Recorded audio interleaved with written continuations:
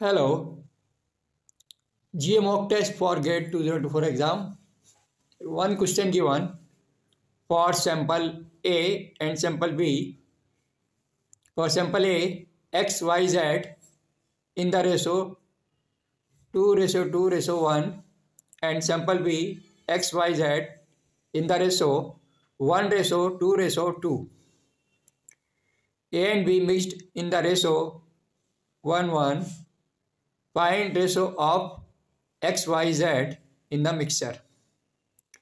We have three options given A, B, C, D. So we have to find correct answer from these four options. Solution also given here. For sample A, for 1 unit contains 2x upon 5 plus 2y upon 5 plus 1z upon 5 and for sample B 1 unit contains 1x upon 5 plus 2y upon 5 plus 2z upon 5. So mixture ratio answer A 3 ratio 4 ratio 3. Okay, thank you.